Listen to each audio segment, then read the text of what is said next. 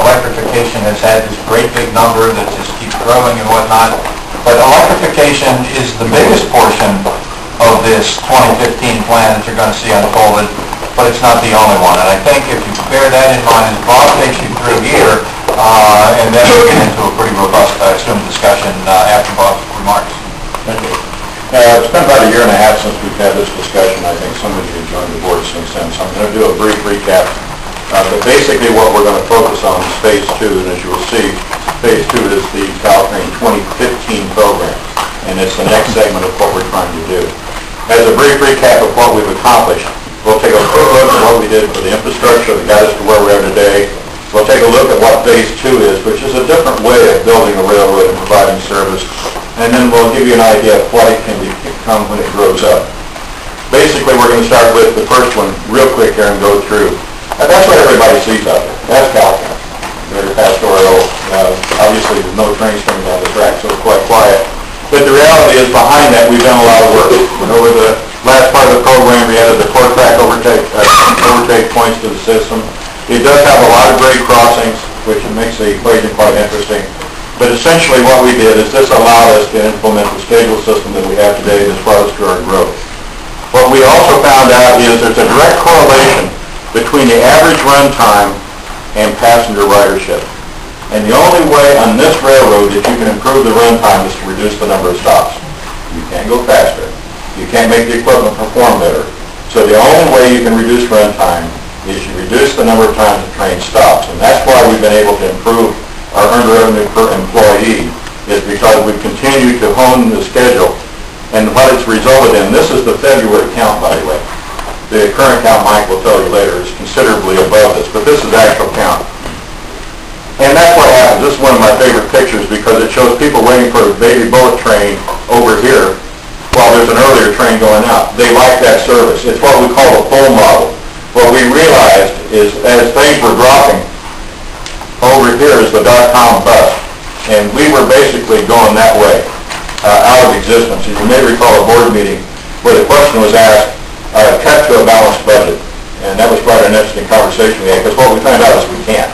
Your sunk costs are out there, so what we actually did, uh, board took a bold action and said, let's increase service levels of the right type, of the revenue generating type. We did that, and we incorporated it, and then we saw the upward trend. Now, this isn't anticipated by any type of normal planning tool. It's called a pull model, and that's what this yellow triangle is. And reality is, we're up in there already. We are pulling people to the train who could go drive a car. In the dot-com era, they couldn't get on the freeway, so they had to come to us. We could have Velcroed them on the outside of the train. Now we can't. We're in competition with the automobile and with the highway, and there is some capacity out there. There was a 13% loss of, of uh, employment. About 3% of that has returned, so it's not that there's new jobs pushing this. As a matter of fact, there was some consideration about the relationship with gas prices. We kept going up no matter what. Matter of fact, we kept going up even with fare increases. So the elasticity of demand that you normally see in transit was not there. We're basically undervalued. Now, we've done some projections, and this line right here is where we are with what we have today. If we stick with what we have today, out there, the only way I can add service is to add trains, which increases my run time, which we know will have an effect on ridership. So we're going to hit a point here very, very soon where we are at the limit of what that system can handle. Now, we've done some modeling things to VTA about if, if a run constrained, what would that model look like? Well, that's, in the business world, that's called opportunity cost. That's what we could be doing if we had a system out there that was better than what we have today, just as a fundamental. So we know we're losing money right there. That triangle is lost revenue because the system simply cannot be adapted to what we need. That started the conversation about what type of system we really want. Here's what people said they wanted. I love this one. They want more stops and a reduced run time. Basically what they said is stop at my station and my destination, but nowhere else. That seems reasonable, doesn't it? So we took this as a very serious issue. Is there a way to actually reduce run time but add stops back in? There's definitely a rider preference for the new vehicles, and that's pretty obvious. You have to remember, one of the driving elements behind this is not only electrification, but our entire, a major portion of our fleet is due for replacement.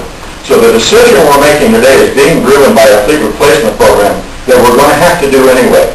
So you've got a electrification program and you've got a fleet replacement program, so you're at that moment where you need to make a decision about what we want to be.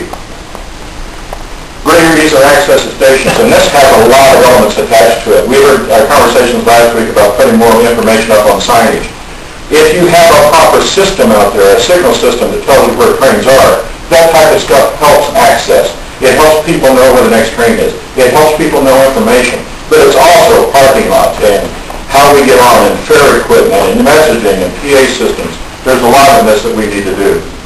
And then there's the general stationary uh, economic development. We hear a lot of that, especially when we reduce the stops. You hear a lot of communities come in and say, we want to have more people come here because it- it's a driver for business.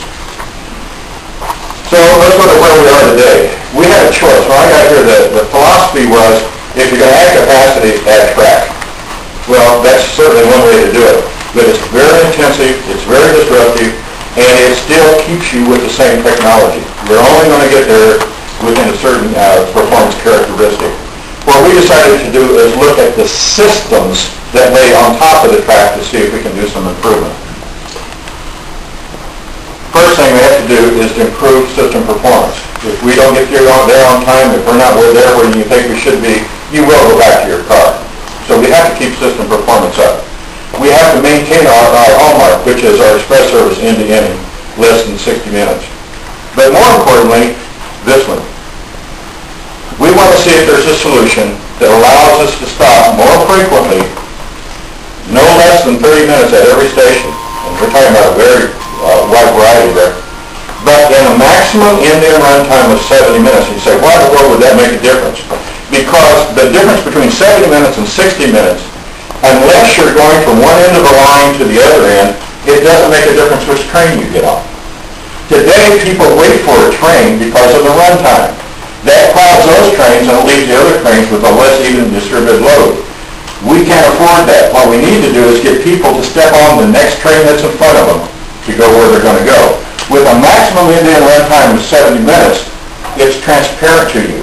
You'll just get on the next train. And all of a sudden, you have tremendous capacity out there, and you can do a lot with that. And then we have to continue to follow the business model. And that is that we have to earn revenue and improve revenue flow through the design that we come up with. And of course, the optimization system, uh, system access. And this also has to do with something called level boarding, which is yet to be defined, and it's a bit of a question mark.